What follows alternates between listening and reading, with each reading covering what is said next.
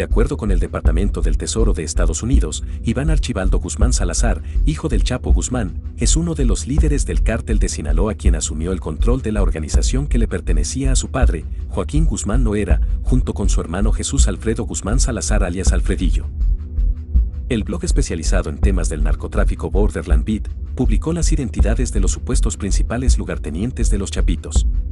Según Borderland Beat, Iván Archibaldo también es el jefe de plaza de la ciudad de Culiacán, además de ser el líder de los Chapitos, esto luego de que en 2013, tras la detención de José Rodrigo Arechiga Gamboa el chino Antrax, Jesús Alexander Sánchez Félix alias el ruso se convirtió brevemente en jefe de plaza de Culiacán.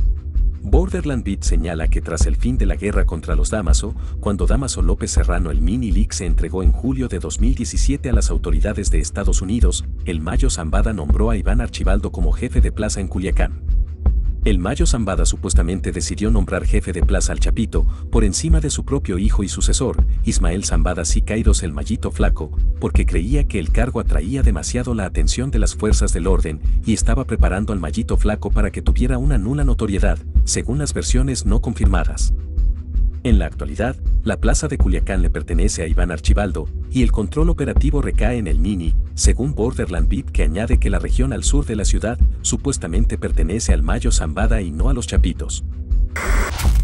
Oscar Medina González alias El Panú, supuesto jefe de plaza de Badiraguato y principal lugarteniente de Iván Archibaldo Guzmán.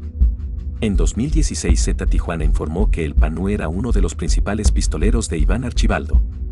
Para 2017 Z Tijuana volvió a escribir que el Panú era jefe de guardaespaldas y coordinador de los hijos del Chapo.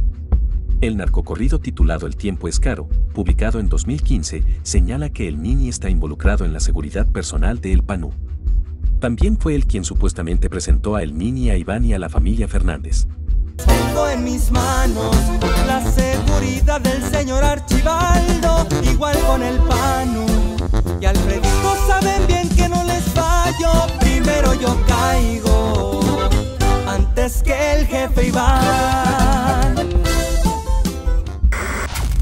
El Chuta, jefe de plaza del Fuerte y algunas zonas de los Mochis, cuyo nombre es desconocido.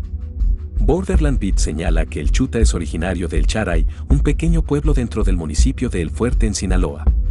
Según el corrido El Compa Chuta de Panchito Arredondo, el Chuta comenzó dentro del cártel de Sinaloa trabajando para los Damaso, sin embargo cuando comenzó la guerra con los Chapitos y el Mayo Zambada, el Chuta supuestamente optó por unirse a los Chapitos. No se olviden que aquí por el fuerte navega su amigo el Chuta. Digan lo que digan, Iván Archibaldo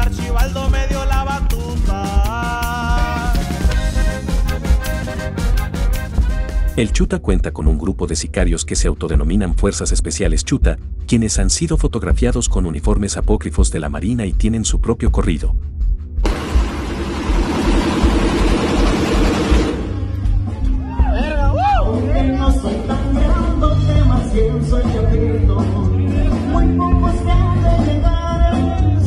Durante el denominado Culiacanazo, el operativo fallido que derivó en la liberación de Ovidio Guzmán, los sicarios que aparecen en la parte trasera de una camioneta blanca con un calibre 50 preparándose para responder a la detención de Ovidio eran supuestamente miembros de Fuerzas Especiales Chuta, publicó Borderland Beat.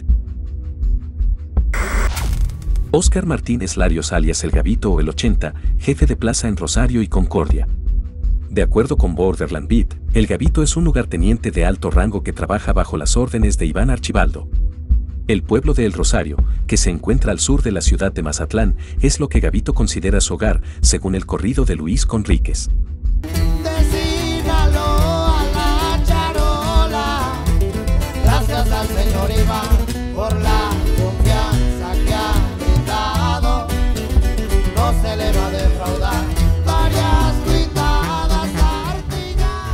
El Gavito bajo el mando de los Chapitos comandó el intento de tomar la ciudad de Mazatlán en 2016, que en ese entonces estaba bajo el control de los mazatlecos liderados por Fausto Isidro Mesa Flores alias el Chapo Isidro. En un video que circuló ampliamente en redes sociales este pasado 26 de abril de 2022, muestra los momentos en que un grupo de sicarios obliga a un grupo de hombres armados a tumbarse en el suelo. Según Borderland Beat, medios de comunicación sociales alegaron que este incidente tuvo lugar cerca de la pequeña ciudad de La Noria y que el campamento que se ve en el fondo del video pertenecía a los hombres armados. Algunos afirman que los sicarios del cártel de Sinaloa bajaban de una inspección por la montaña y que al ver a los hombres armados, decidieron robarles los uniformes, el equipo e incluso los vehículos, aunque no hay confirmación oficial de esta afirmación. Durante el vídeo se escucha a uno de los sicarios decir, pura gente de Gavito o somos gente de Gavito. En referencia a Oscar Martínez Larios alias El Gavito. Borderland Beat señala que el Gavito es considerado como uno de los lugartenientes de mayor confianza y más cercanos de los Chapitos. Hola, hola, guachitos pedorros, hijos de su puta madre, verga. ¿Eh? ¿Que no la hacen de verga, putos? ¿Eh de Gavito a la verga, puta madre. Eh, no que muy huevudos, verga. ¿Eh?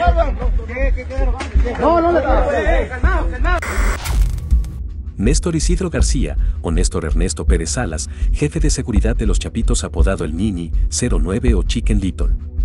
Borderland Beat señala que el Nini además de estar a cargo de la seguridad personal de los Chapitos, se encarga de la seguridad de El Panú. El narcocorrido El tiempo es caro, cita que el Nini dice, tengo en mis manos la seguridad del señor Archibaldo, lo mismo con el Panú, y Alfredito sabe bien que no le fallo. Dicho esto, es posible que el Mini no esté a cargo de la seguridad personal de los Chapitos en general, ni sea el principal guardaespaldas de Iván, ya que en los audios filtrados de las transmisiones de radio realizadas por miembros del cártel de Sinaloa durante el Culiacanazo, aparece la voz de un hombre desconocido, que no es el Mini dando órdenes. Algunos han especulado que este hombre desconocido, se rumora que se apoda el Gavilán, es el jefe de la seguridad personal de los Chapitos y que el Mini es uno de sus subordinados directos, señaló Borderland Beat. ¿Qué dice jefe? ¿Usted dice jefe? Para adelante, oiga, todo para adelante. Adelante. Este hombre está retenido. Aquí el otro hermano dice que para adelante. El que está retenido, pues me duele decirlo, pero. Eh, Pero para adelante. Oiga, que rollo con el Comanche, oiga, va a haber apoyo de esta gente, qué rollo, oiga, así me explico, nosotros brincamos como perros cuando ocupan apoyo, o sea, ¿qué va a haber? Que digan sí o no, oiga. A ver, compa Comanche, ¿qué le dijeron ya, señor? No le hagan señal. No, acá en azul, acá en azul por lado del cambio, acá venimos arrimando, oiga. Mira, no hay acá, oiga. Yo estoy dando instrucciones de, de, de papá mayor, oiga. Ay, miedo, miedo no tenemos. Aquí estamos dando instrucciones papá mayor, compa. Aquí estamos listos también. En junio del 2020, el Nini supuestamente secuestró a una mujer identificada como Anaí, hermana del operador de los rusos alias el negro Azabache. El Nini exigió que Azabache se entregara a ellos a cambio de que dejaran ir a Anaí, a lo que Azabache accedió. No se supo qué sucedió después, pero hubo rumores de que Azabache comenzó a trabajar para el Nini, según Borderland Beat. Esto ya está acabado. Ustedes lo saben, aquí nadie apoyará al ruso ya que él no es gente de nadie. No tiene respaldo ya que no traigan con mentiras a sus pistoleros. Que si quieren venir a trabajar con un cartel, que lo comanda un jefe. Yo no soy un pistolero con aire de grandeza como el ruso. Aquí no faltan las quincenas, ese intento de jefe ni siquiera está ahí con ustedes. Están peleando una causa perdida. Él allá desde lejos, nomás los tiene ustedes como carne de cañón, esperando el chingazo. Ya sea por parte del gobierno o parte de nosotros. Las pruebas ya las vieron. Y al igual esa gente de los paredones, Gabriel ya está muerto. A ti, Martín, ahí piensa a tu gente también. Y para que sepas, ese ruso y, esa lacra que le dicen el plaga, estos tres que les acabo de mencionar, ni el ruso tiene oportunidad. En donde se meta lo vamos a encontrar. Y para que vean que no hablo nomás por aquí hablar, tengo a la cebache. Cuando lo mandaron a hacer su vuelta le salió mal. Para que vean que aquí tiene una oportunidad. Aquí escúchenlo. No está, fácil, plebada. Ahorita que se puede, hablen si se puede, hablen si puede, porque no está pelada. Aquí estamos al cielo y todo, no por ahí todo este vato. Y ahorita hay chance, viejones. Este le gano, un hito 19. No, El Chorre jefe de plaza en El Dorado. Comenzó su carrera criminal al interior del cártel de Sinaloa con los Damaso. La única información que Borderland Beat publica respecto a El Chorre es que este secuestró a un amigo personal de El Mayo Zambada. El Mayito Flaco, hijo del Mayo Zambada, supuestamente envió un grupo de sicarios para liberarlo. Cuando el grupo llegó al lugar donde el amigo estaba cautivo, el Chorre recibió un disparo pero no murió en el enfrentamiento, según rumores no confirmados. Otros supuestos lugartenientes de Iván Archibaldo y Jesús Alfredo según Borderland Beat serían el 22, que lidera un grupo llamado Los Números o la Numerada en Guamuchil. El Alacrán, que estuvo brevemente involucrado en las guerras contra los rusos en Culiacán. El Güeritos, también llamado el 90, y su hermano, cuyos nombres reales son José Ángel y Jorge Canovio, que lideran un grupo llamado Los Güeritos. El grupo también se llama a veces Los Brontos. Al parecer, fue secuestrado junto a los Chapitos en el restaurante de Puerto Vallarta, según Z Tijuana. El Edio el Mago, Eddie Escobedo o Eddie Hernández, que supuestamente procede de Durango, se cree que es amigo de Iván Archibaldo. El Perris, quien empezó como sicario de los Damaso y estuvo involucrado en los enfrentamientos contra los rusos en Tepuche. Finalmente el Jimmy, un amigo muy cercano de Iván Archibaldo de quien no hay más detalles, publicó Borderland Beat,